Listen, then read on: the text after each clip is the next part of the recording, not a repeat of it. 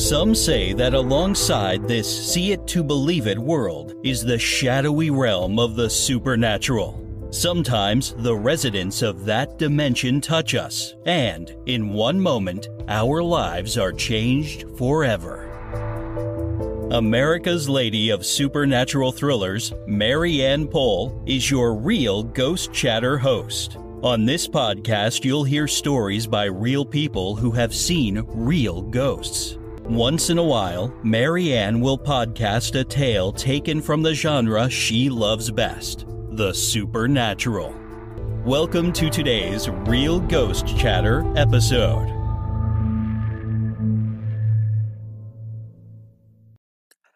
Have you heard about Anchor? If you haven't, I'm here to tell you it's the easiest way to make a podcast. Let me explain. It's free, and I mean free I haven't paid a dime to produce or distribute my podcasts. There's a creation tool that allows you to record and edit your podcast right from your phone or computer. How easy is that? Podcast distribution can be a headache, but not with Anchor. Anchor distributes your podcast for you so it can be heard on Spotify, Apple Podcast, and many, many more. As a bonus and not an obligation, you can make money from your podcast with no minimum listenership. Anchor has everything you need to make a podcast in one place. Download the free Anchor app or go to anchor.fm to get started.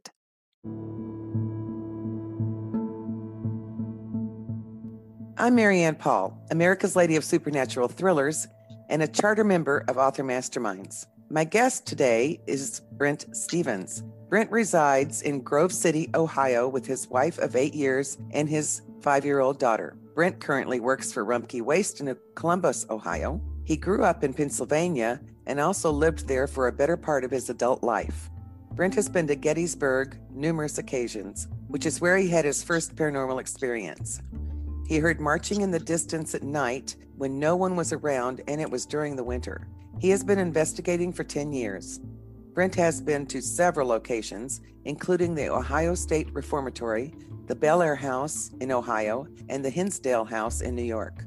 While using meditation techniques, Brent discovered he is clairvoyant and he can hear and feel things when investigating haunted places. Welcome to the show, Brent. Thank you. From your intro, it sounds like you've had a lot of paranormal experiences. Is that true? That's true. Good. I mean, otherwise, why would you want to be here, right? Right. I'm going to ask you to tell us about some of your memorable experiences. And I know one of them is the Lincoln County Jail in Ohio. Is that correct? That's correct.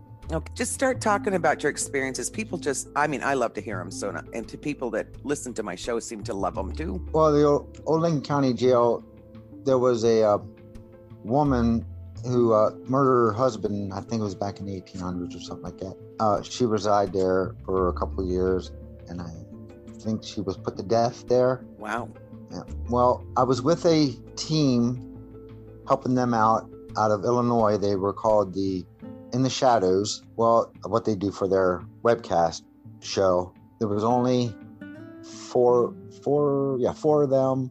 They were all scattered throughout the prison. I was down monitoring the uh, cameras, everything like that. And there was two other people, but they were in the office. It was uh, Jeff Fent and Terry Long. And all of a sudden, we heard this loud woman scream. And I jumped up. I ran out to the office where Jeff and Terry were. And I asked, Did you hear that? And they said, Oh, yes, that happened all the time. Would have had to been May Varner. Her name was May Varner? That was, that's her name. Wow. And, and she uh, murdered her husband, right? Yes. At the end, when everybody came down, I asked if anybody else heard the woman scream. They said no, but I had two other witnesses say that they heard it. That makes sense because I've had an experience where I was told that in fact I heard it, nobody else around me heard it. Yes, that happens too. I don't know why that happens, but it seems to, huh? Mm-hmm. And then when I was on a public hunt, the first time there, I was down in the dungeon and I got an EVP of Get Out and a growl in my ear. Oh no, that's not good. Oh God. so I've been there twice, so that would say that's one of my memorable experiences. Yeah. And this was at the Lincoln County Jail? Yes, in Ohio. Do you have you can't remember the name of where it's at? It starts That's with okay. an eight, and I'm like, Well, I bet if we I get- bet we can Google that kind of a thing real quick, oh yeah. you know, and I'll find out for you. Okay, So- thank you. And here I am, everybody. I just Googling just away. lost um, my memory thought there. Uh, uh, well, you know, it happens. Licking, yeah, Licking County Jail. L I C K. Is Sorry it L that. I C K Yes, ma'am. L I C K I N or just lick Lick, licking. licking count? That's why I was there. I was. Sorry about that. That's okay. Not your mm. fault. Oh, hold on. There we go. Licking County. So does that sound like Newark? That's it, Newark. All right. So Newark, Ohio. okay. So it's licking L I C K I N G for people if they want to look it up and get some history on it. Yep. Yep, And it's in Newark, Ohio. that's it. Okay, Yes. you're right. So, do you have history of the people that were there that died, other than the woman that was? No, that's the only one off the top of my head. It'd be interesting to look her up and see what she did, right? I mean, Right. obviously she killed her husband. So, you've talked Thanks. about you think you have hauntings in your own house there and in other places you've lived. You want to talk about any of those? Well, the current home that we're in now, my wife has been hearing knocking at the door when no one's there. Last night, I thought I heard when I turned the light on in the laundry room, I heard a bang upstairs, and I ran up and asked if everybody was okay, and they said, "Why?" That I just heard a bang, and said, "Nope, we didn't hear anything." So Great. that's weird. so, have you tried to record anything in your house yet, or not? Yes, uh, we did. Uh, my wife and I. My wife doesn't believe in any of this stuff. Well, she does, but it freaks her out. She Uh-huh. would rather watch it on TV than actually go do it. I truly understand what she's talking about. Yeah. But we uh, we did the Estes method. What is that? The Estes method is where one of us puts the headphones on and uses a spirit box, and the other one asks questions, and the one with the headphones can't hear what the other person's asking. So we did a Estes method. Oh yeah, I've I've seen that done. Okay. and uh, I think we got an EVP of Rick came through. The name Rick. Now, Really? who that is, I have no idea. We have no idea who it is. It could have been from the places that I've been, hmm or could be something following my wife and I, or we don't know. Wow. Does it make you nervous to have these things happening in your home? No, no, I think it's cool. I think it's cool, but it's, it's freaking my wife out. Well, yeah. Mainly when you have a five-year-old around, you know, a little kid. That's probably Yeah. what would freak you out the most. And and your little your little one isn't having anything showing that she's seeing them. She says there's a monster in her room, Uh oh. but I I don't I don't know. That's that's a little that's a little girl though. They always say that. I think she says, well, she can't sleep in her room. She'll lay there, and then all of a sudden, in the middle of the night, she'll come over and sleep with us. Yeah, that's hard to tell if it's something there or if it's her age. Yeah, yeah, yeah. Yeah. That's what we are going trying to decide. Yeah.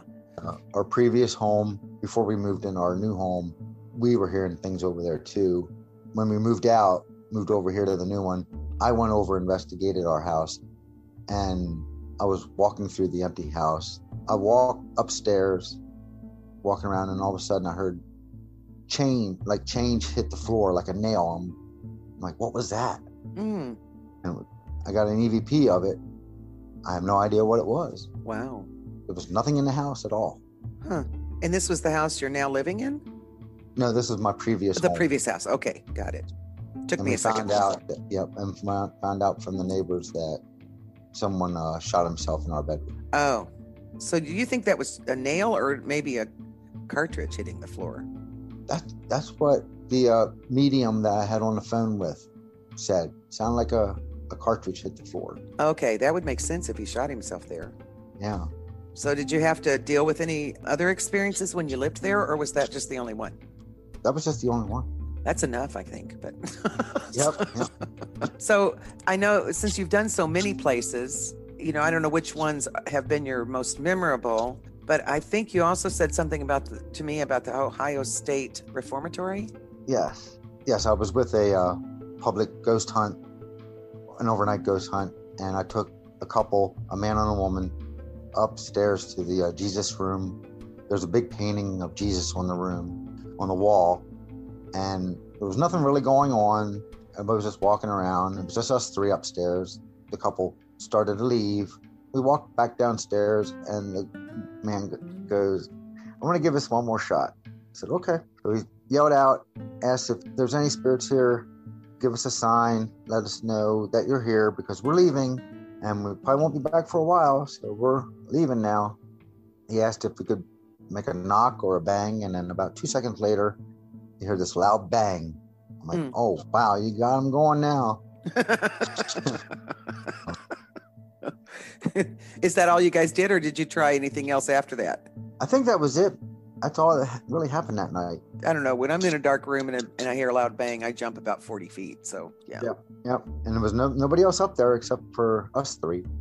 So the other time was I was with a little group, maybe about six or seven of us out of the whole prison, and I was up up in uh, cell blocks, just hanging out in one of the cells, and all of a sudden here you could hear the cell doors clank, you know, shut, Mm. open. Did you see any? You didn't see any, just heard him. I just heard them. I didn't see anything shut or anything, but So, when you were in Gettysburg, have you Mhm. gone back there since you've been an adult? yeah, that was when when I heard the marching. Right. It was just me and my wife. It was like uh, during the winter. We were out there for my grandmother's funeral, so uh, we were just going through it, and we come back out about nine o'clock at night. Stopped at one of the statues on the way out, and all of a sudden I could hear this marching in the background and drums. I'm like, okay, that's the first time I've ever heard that. Wow. That was really cool. That would be so cool. For some reason, I thought you'd been there as a child and experienced that, but no. No, no, it was that being an adult, being a child, I was, wasn't really paying attention to that stuff. Right. some kids do, though. Right. What other places have you been? There's a place in um there's a place in Lancaster. There is a place in Lancaster though. It's called the Clear Creek Metro Park in Lancaster. Mm-hmm. There's two rock formations. One when you come into the park, and then there's one further in the park. Now this place is really creepy at night because there's nowhere, there's nobody around, and it's just rock, and then there's a cliff up top. This one rock is called the Witch's Rock. That's further in the park, and then there, the one that's beginning of the park is the Leaning Rock. Mm-hmm. The second one, the Witch's Rock, is where they supposedly sacrificed animals and humans. Mm-hmm. And I took my wife there on a t- dark night. Said, "We got to check this out." So we get out of the car, and uh, my wife says, "I don't feel so good. I don't like this place at all. We need to go." So I started taking pictures, and you can see the mist in the camera with ghostly faces Oh, really? in it. So Wow. it, it's a pretty creepy place. And this was the Witch's Rock, not the Leaning Rock. No, this is Witches Rock in Lancaster, Ohio, Clear Creek Metro Park. I have heard of other places just like that in other areas in other states. Mhm. It sounds like your wife. Did she get nauseous? Yes. Uh-huh. She said she didn't feel she didn't feel good. So she said we have to leave. Yeah, I've heard that a very thing about people. Well, when there's an evil entity about, that they get that they get really sick at their stomachs. Yeah. She, yeah. she sounds like she's really sensitive. Yes. Yes, she is. Oh. Um, I didn't feel anything. I didn't feel a thing. I yeah. yeah, you guys. Like, and your wife's wanting to throw up, and yeah, and you're yeah. like, and you're like, let's stay longer. Uh-huh. I yeah, I do, but I said okay. Out of respect for you, we will leave. You have a photo you said of that? Yes, I have to find it. If you had it close, I was going to say email it to me, and I'd put it up on the with the uh, audio of this, Okay. Yeah. so yeah. people could take a look at it. That'd be really cool. I, still have it. What else have you done? And Oh, let's see here. I can name a whole bunch of places that I've been to, okay, if you would like. I love it. And do you have any stories with them, or just the places? I have some stories if I can remember them all. Well, Um, okay, well, there was an event going on in Bryan, Ohio. uh huh. We investigated. I think it was like five different places. Uh, there was Father John's church. There was a police station. Well, at the police station is where I got my name called through the geo box, uh, portal box. It cuts out all the static, and all you hear the is the echo. hmm Well, we were investigating with that, and I heard my name called, and then there was a uh, evil laugh in a corner. I was in a room by myself, and I heard an evil laugh. It sounded like female. hmm And then uh, there's what they called a, a granary. There was well, there's railroad tracks that go by there, and a woman and a child died Mm. across the tracks. I think is what the story was. And then I saw a light anon- anonymously hmm in the grain. In the grain granary. Yep, in the granary. And we had a incident there where at the same time I saw that, a young lady on the tour, she passed out. Really? Oh, yep, she fell to the ground and she had to be taken out and you know Was Oh, she in the granary the at the Yes, time? she, she was in with us. Yep. I wonder if that light anomaly went through her or something or hit her. Because I was right behind her. It must have. It must have Mm. went through her because I Oh, saw it. I've heard. I've heard that doesn't feel. You know, people have had that happen, and that's why I wondered. People have intense responses to that happening. Yes. Yes, they do. I'm Mm. very, very sensitive to that. At that event, I had the opportunity of investigating with uh, Dalen Spratt from Ghost Brothers and uh, the Tennessee Wraith Chasers were there. Oh, good people. They're yeah, good So- for you. Thank So you. did, did you learn anything from them, or did they learn anything from you? oh, they were just lots of fun to Uh-huh. investigate with. Yeah, because they've had done it a lot. Yeah. So what else? This is really fun. Oh, then there was uh we'll go back to the Ohio State Reformatory. There was a uh, ParaPsyCon is what they had. Had the pleasure of investigating with Daniel Klaes of the Hinsdale House, which I've been to Mhm, twice. mhm. Uh, that place is it's it's creepy. It's that's all I can say. It's creepy. Well, give us the okay. Well, after you tell about what you were going to tell, tell us about the Hinsdale house and maybe there's some history and makes it creepy. What makes it creepy? Is the question. Well, people died in there. hmm you know, people from the owners and that. A lot of animals went missing. Uh, Native Americans occupy the woods in the back. It's mainly the woods is what makes it creepy. Okay, that makes sense. When I first got there, this was like six o'clock at night. The sun was still out. I was up there asking if there's any spirits around. Please let me know. All of a sudden, I could hear footsteps coming my way, but there was nothing there. Mm. And then later that night, we got a stick figure on the SLS camera. So hmm supposedly, if something's there, it'll pop up as a stick figure. Right. I've seen those on, I think, Ghost Adventures. I think they have that too. Mhm. Yeah. Yeah. Mhm. Okay. And uh, we were we were upstairs in Claire's room, and we were just communicating with whatever was there. And some something got thrown at somebody. He's like. "What the hell was that?" right next to him, and everybody heard it Oh, wow. upstairs. uh huh. So that kind of freaked the guy out. I don't remember what the guy's name was, but I was there overnight for a couple hours by myself. And I have to throw this out there. I don't want to ruin it for everybody, but they have a mouse that will freak you out. A mouse. Uh huh. Because I had I, I had sensors. Had sensors in the hallway leading up leading upstairs from at the downstairs and they went off. It was like a Rite Aid. They're like a Rite Aid sensor. They could go beep beep beep beep. I'm gonna find out it was a mouse I'm sorry. I, I can't help but laugh. I I guess you debunked that then. yes yes i'm like dang it i got a mouse i got a paranormal mouse a paranormal mouse. yep, i got video of the of the mouse of the room i'm like oh that kind of ruined it for me yeah, that would ruin No, it for anybody. but i want to go back Oh, I would. That sounds. Who? What is Claire's room? Do you have a? Why is it called that? that was her room that was the owner Ah, the owner's room so Claire was was her last name Hinsdale? i don't remember Okay. We'll have to Google it again. I'm sorry. No, I'm good. But it was okay. Claire's room. Okay. I'll Google it and see what it says. Okay. You know, and other people can too. It's real easy to do that, you know. Yeah. But I hate, hate to have them Google it, but some of our brains are kind of, kind of tired. yeah, kind Yeah. of trying to remember everything. Yeah. Well, you know, working, job, kids, mom, you know, Yeah. you know, it can make your, your brain tired. hmm But uh, yeah, uh, back to the ParaPsyCon there at Old uh, Ohio State Reformatory.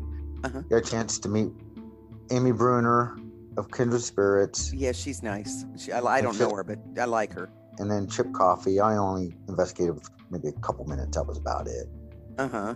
Oh yeah. So Amy, well, Amy's always you know, she was on Ghost Hunters before she was on Kindred Spirits. I used to watch that a lot, so Mhm. I, I'm really familiar with who she is, and I am familiar with who Chip Coffey is too. Mhm. So they were there. So they were they were fun to investigate with. But it was only for a couple minutes, but it was all worth it, I guess. I guess it is. Actually, take it back. I haven't actually. I I really haven't talked to any of them. They were investigating with the group of people. I was just hanging out. so they weren't recording; they were just investigating. Yes. Uh, yes, they were investigating. good for them. I wouldn't have thought they'd have time. they do so much else already. mm-hmm. So, Yeah. do you investigate all the time, or just like on As much as I can, but since the COVID hit, it's everything's been slowed down now. Oh, I know it. Anybody trying to do anything that's out in public, it's very difficult. Yes. Yes. Have you also investigated the Victorian House? No. No, you haven't. Okay, that's No. the one that the uh, Victorian House Museum. That that's Rosella C. Rose. She's been there a lot. So, Yep. She's trying to get me down there. oh, I think you'd enjoy it from all her stories. They're pretty amazing. hmm Yeah. So, do you have any other ones that you want to share before we end our meeting? Randolph Infirmary. Okay. That's in uh, Indiana. Uh huh. I was doing a tour with tour with them. I was walking along the woman's woman's wing, and all of a sudden I got my shirt tail pulled. God. Uh, that that that's but the only physical one I've gotten. I've never been scratched because I don't provoke any of the spirits because they once were humans too. Right. I treat them all with respect. Good. But uh, I got a whole whole list of places to been. Bellaire House, Monroe House. Got a response. We were recording with the uh, yeah, we were doing the Estes method again, and we got some pretty foul language coming through. It's like leave, leave me alone kind of response. Uh huh. But with cursing, Yes, yes. we won't go into what it actually said. no, let's not and say we did. So, we, you know, we don't curse on our show here. we try not to anyway. But yeah, we got that there. Um, Ashmore Estates they the spirits love the Boo Bear. Okay, what's the Ashmore Estates? Yes, that's in Illinois. Uh huh. And they love what? The Boo it's called the Boo Bear. Oh, a- the- yeah. It's a, go ahead, explain that for people. Yep, it's a teddy bear that has a light and it, it makes statements. It's a trigger object. Right. Anything that goes close to it, it'll set it off Uh or huh. try to get it to. And it wasn't a mouse this time. No, no. I think it was spirits, you know, hanging out by the Boo Bear. Stick figures would show up with the SLS camera. I think that is so cool. I wish we had the ability to show that stuff on my show here. I still mean, have video. Yep, I still have video of, of where places with the SLS camera that I will send to you. I would love to see that because I've seen it on TV, but to see it, you know, what you've got would be really wonderful. hmm Yep, I got a video of that, and then the pictures of some of the places that I've been. I'll send it to you. Oh, would you? That would be great. I'm gonna. This podcast will go up on Tuesday, this next week. So, what else have you got? Because I know you've seen, been to a lot of places, and what's hard, I think, is when you've been to a lot of places, it's hard to remember everything that's happened. Am I right? Yeah. Yes, because everything's different. Mhm. Um, different to different places too. But most of our experiences that we get is through EVPs. hmm Sitting around for hours upon hours, and you just get EVPs. But That's it. EVPs are good. Yeah, yeah. Some of them are good. Some of them are. Some of them are not. Now, have you run into evil stuff? I have. I have yet to run in anything that's jumps right out yet. Okay, that's I wondered because I know several people have, and Mhm. especially when they're investigating.